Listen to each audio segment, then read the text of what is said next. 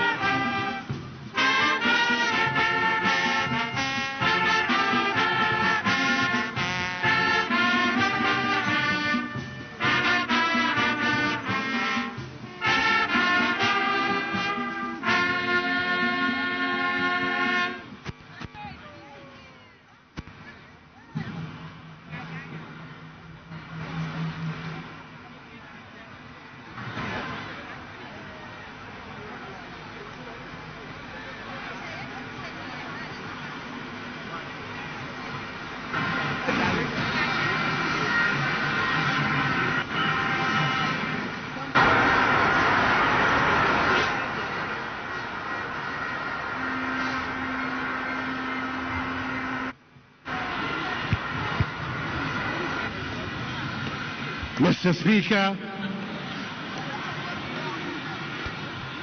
the Ghanaian people give thanks to Almighty God for the blessings, favor, and grace He continues to bestow on them.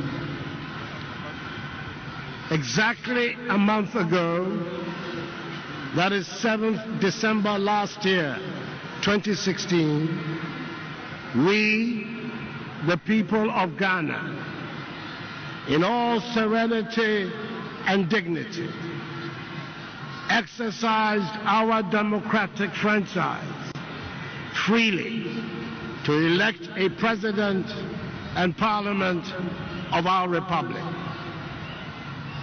We are met here today to give effect to the outcome of that exercise.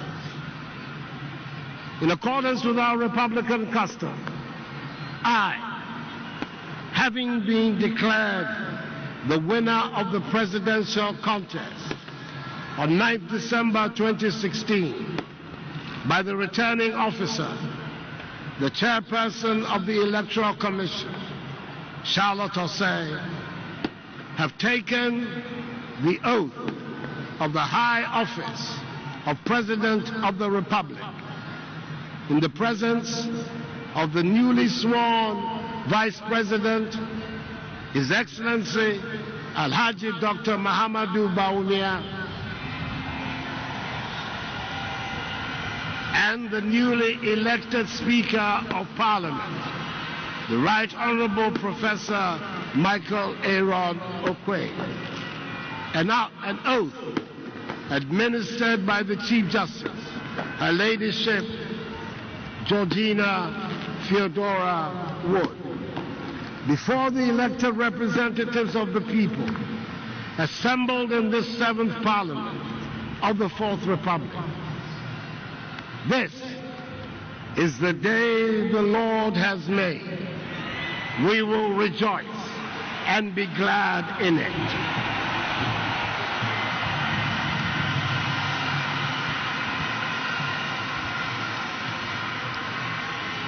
Our nation is honored by the presence at this solemn ceremony of investiture of leaders and representatives of friendly countries across the globe. In particular, those of the sister nations of our regional body, the Economic Community of West African States, ECOWAS, and of our continental body, the African Union.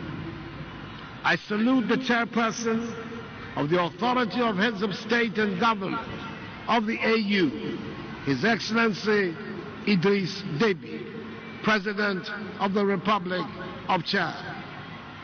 I salute the chairperson of the authority of heads of state and government of ECOWAS, the historic figure, Her Excellency Ellen Johnson Sirleaf, President of the Republic of Liberia.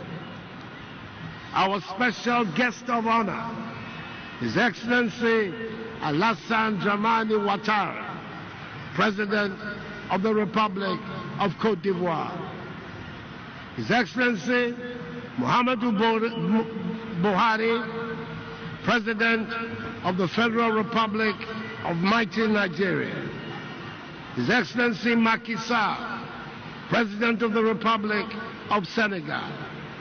His Excellency Faure Gnassingbé, President of the Republic of Togo. His Excellency Professor Alpha Conde, President of the Republic of Guinea-Conakry. His Excellency Patrice Talon, President of the Republic of Benin. His Excellency Ernest Bai Koroma, President of the Republic of Sierra Leone. His Excellency Ibrahim Boubacar Keita, President of the Republic of Mali. His Excellency Roch Marc Christian Kabore, President of Burkina Faso. We are grateful also for the presence of His Excellency Denis Sassou Nguesso, President of the Republic of Congo. His Excellency Teodoro Obiang Nguema, President of the Republic of Equatorial Guinea. His Excellency Ali Bongo, President of the Republic of Gabon. And His Excellency Edgar Lungu, President of the Republic of Zambia. To them and the representatives of all the other friendly nations who are here, and former presidents and leaders, I say Akwaaba, our famous word of welcome. I have at the outset to thank sincerely our departing president, His Excellency John Dramani Mahama, for his service to our nation. He stepped into the breach of national leadership at a delicate moment in the country's history, with the death in office for the first time of a sitting president, the late Professor John Evans Atta Mills. May his soul rest in peace. He has since steered the state, the ship of state, with conviction. His elegant, dignified acceptance of the verdict of the people on 7th December 2016 will without doubt receive the approval of history, for it has contributed significantly to the process of democratic consolidation in Ghana. I wish him and his family well. For myself, I'm in the new, unique position of being able to draw on the wisdom and experience of three former presidents of the Republic, their Excellencies Jerry John Rawlings, John Agyekum Kufuor, and John Dramani Mahama. They represent the continuity of the institutions of our republic, for which we thank God. Mr. Speaker, I am deeply humbled by the exceptional mandate and extraordinary show of confidence that the Ghanaian people have conferred on my party, the New Patriotic Party, and on my modest person. I am determined to do all in my power to accomplish the tasks of the mandate and justify their confidence. I will not let you, the people of Ghana, down. We have a proud heritage. We are the heirs of John Mensah Sarbah, Joseph Casely Hayford, George Paa Grant, R.S. Blay, Joseph Boakye Danquah, Emmanuel Obetsebi-Lamptey, Edward Akufo-Addo, William Ofori-Atta, Kobna Kessie, Ernest Ako-Adjei, Kwame Nkrumah, Komla Agbeli Gbedemah, Kojo Botsio, S.D. Dombo, Kofi Abrefa Busia, Baffour Osei Akoto, and others who taught us that fidelity to principles, courage, patience, resilience, and collective action do yield results. They fought with intelligence, guts, steely determination, and patriotism to liberate our land and reclaim our worth as human beings. Their love for country continues to inspire generations of us to commit our lives to the search for an enduring democratic legacy for Ghana. It is not for nothing that when our forebears established the Ghanaian nation, they chose freedom and justice as our motto. Our generation has to give meaning to this motto. On March 6, in a few weeks' time, Ghana will attain 60 years as an independent nation. I suspect that those early nationalists would be disappointed if they came today and saw the level of development we have achieved in 60 years of independence. Our journey has had some highs and unfortunately many lows. Since we accepted a consensus on how we should be governed with the onset of the Fourth Republic, we have performed more creditably. It is within this period of 24 years that Ghana has witnessed a consistent period of development. 60 years after nationhood, we no longer have any excuses for being poor. I stand here today humbled beyond measure for the opportunity to lead this country at this time and take us to a higher level of development. The words of J.B. Danquah, one of the founding fathers of the Ghanaian nation, are compelling. He said as far back as 1960 that the duty of government should be, and I quote, to liberate the energies of the people for the growth of a property owning democracy in this land with right to life, freedom, and justice as the principles to which the government and the laws of the land should be dedicated in order specifically to enrich life, property, and liberty of each and every citizen, unquote. We have an exuberant and young growing population that wants the best of what the world has to offer and will not settle for third world or developing world standards. We have an adventurous people who are in a hurry for success. I have no doubt that the talents, energies, sense of enterprise, and innovation of the Ghanaian can be harnessed to make Ghana the place where dreams come true. It took us a while, but the consensus on multi-party constitutional rule has been established. And for the third time, we've had a peaceful transfer of power from a governing party to an, an opposition one. We have done it without any fuss, and it is now part of what we do as a people.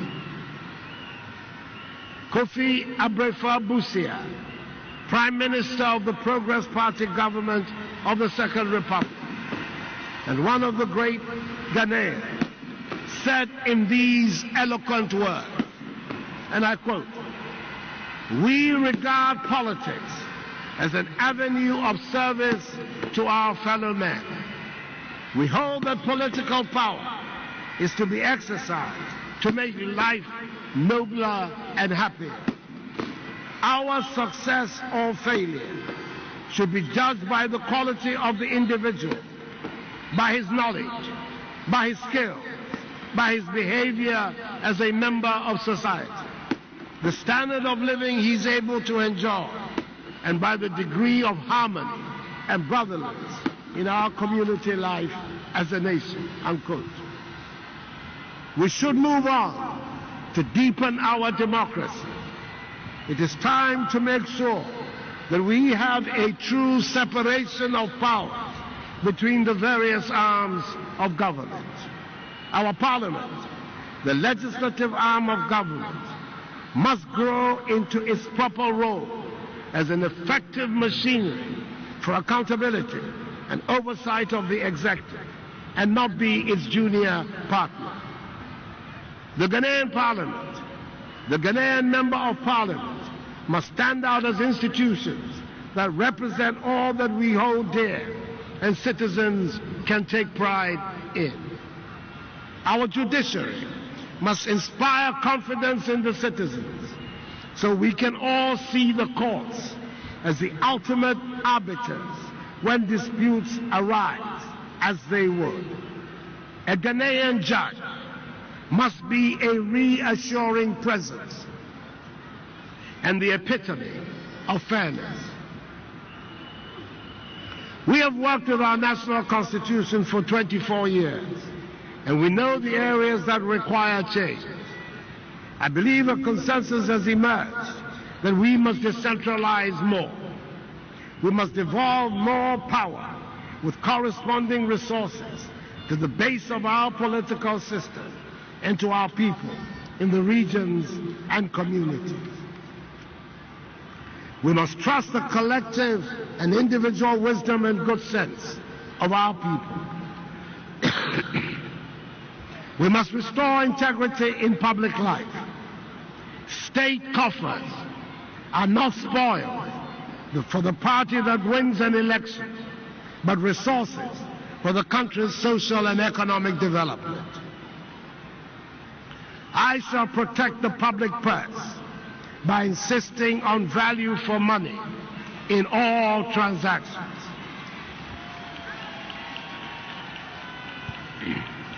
Public service is just that service and not an, an avenue for making money. Money is to be made in the private sector, not the public. And measures will be put in place to ensure we must create wealth and restore happiness to our nation. We can only do this when we have an educated and skilled population that is capable of competing in the global economy. We must expand our horizons and embrace science and technology as critical tools for our development. We believe that the business of government is to govern. Ours is to set fair rules. We will provide vision and direction and shine the light down the path of our entrepreneurs and farmers. We are indeed counting on a vibrant private sector to drive growth and create jobs. We will stimulate the creative juices of innovators. We'll bring to life the adventurer in you. It is time to imagine and to dream again. Time to try that business idea again. We will reduce taxes to recover the momentum of our economy. The doors of Ghana are open again. The shutters are up again. There could not be a better opportunity to make in Ghana and to make it in Ghana. Ghana is open for business again. we will build a confident Ghana which is united, at peace with itself, and takes pride in its diversity. We will rekindle Ghana, which is united at peace with itself and takes pride in its diversity. We will rekindle the spirit that made Ghana the leading light on the African continent and make our conditions deserving of that accolade.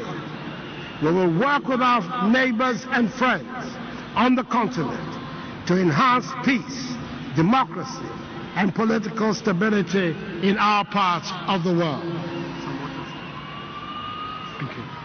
We'll reassert vigorously the Pan African vocation to which our nation has been dedicated. Integration of our region and our continent will be a strategic objective of Ghanaian policy. It will not be easy. We have no illusions whatsoever about the enormity of the task that we face. But I know that Ghanaians at home and abroad will rise to the occasion. They always do. It will require sacrifice, but it can be done. Others have done it. So can we. Our best days still lie ahead. Though our challenges are fearsome, so are our strengths. Ghanaians have ever been a restless, questing, hopeful people, and we must bring to our task today the vision and will of those who came before us. The Ghanaian people have summoned the change we celebrate today. They have raised their voices in an unmistakable chorus. They have cast their votes without equivocation and have forced the change. Now we must do the work the season demands.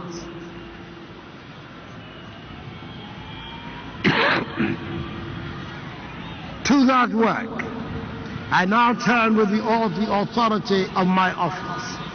I ask the legislature and judiciary to join with me. But no president, no parliament, no government can undertake this mission all by itself. Fellow citizens, you must be at the center of the change. The change we have voted for will have to start with each of us as individuals. We can start with little changes in our own individual attitudes and practices. The change can and should start now and with us as individuals. I ask you to be citizens, citizens, not spectators, citizens, not subjects, responsible citizens, building your communities and our nation. Let us work until the work is done. Holy Scripture in Galatians uh, chapter 6, 9 says, and I quote, Let us not become weary in doing good, for at the proper time we will reap a harvest if we do not give up. I assure you, my fellow citizens, who have entrusted me with this mandate, that I will advance my convictions with civility. I will serve the public interest with courage. I will speak for greater justice as well as compassion. And I will call for responsibility. And I will live it as well. This is my solemn pledge.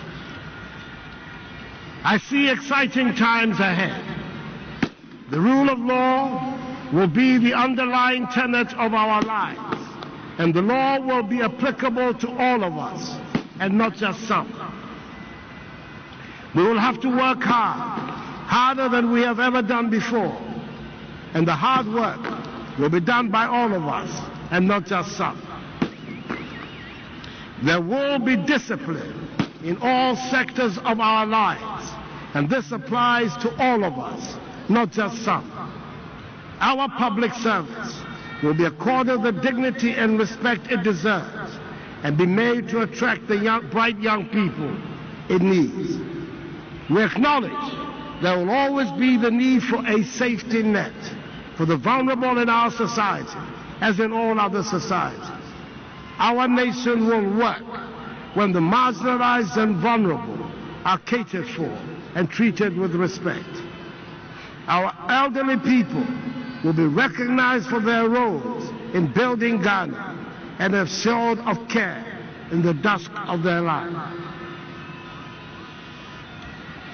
We should all recognize the danger we face by the alarming degradation of our environment and work to protect our water bodies, our forests, our lands, and the oceans. We should learn and accept that we do not own the land, but hold it in trust for generations yet unborn, and therefore have a responsibility to take good care of it and all it contains. Ghana's first president, Kwame Nkrumah, Osagyefo, said at the end of 1957, the year of our independence, and I quote, we shall measure our progress by the happiness which our people take in being able to manage their own affairs.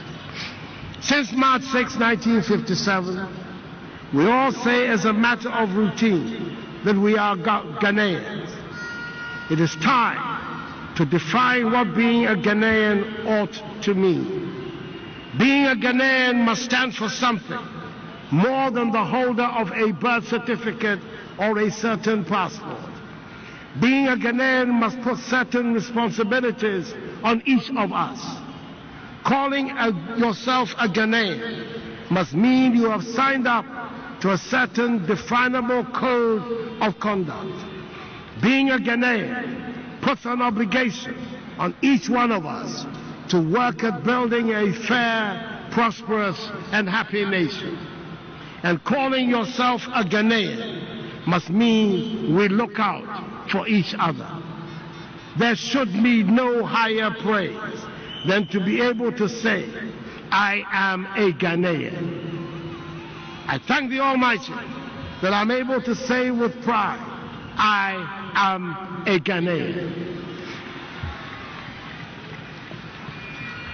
A new dawn has arisen in Ghana, which will enable us to build a new Ghanaian civilization, which will be the beacon of Africa and the wonder of the world.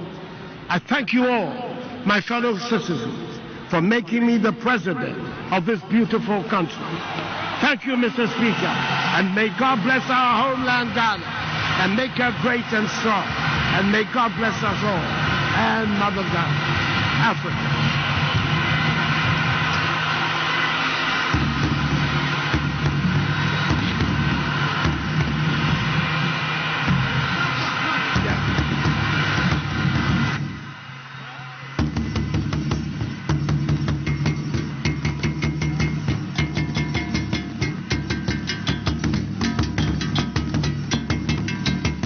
Ladies and gentlemen, the President of the Republic of Ghana, His Excellency Nana Addo Dankwa Akufo-Addo.